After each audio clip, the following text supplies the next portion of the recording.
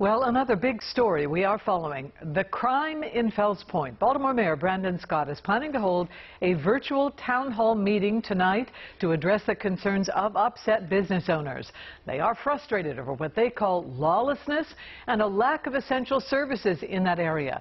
37 business owners are threatening to withhold taxes and other fees. They are asking for an increased police presence and a crackdown on illegal open-air drug and alcohol use. They also want the city to clean up trash and enforce traffic and parking laws.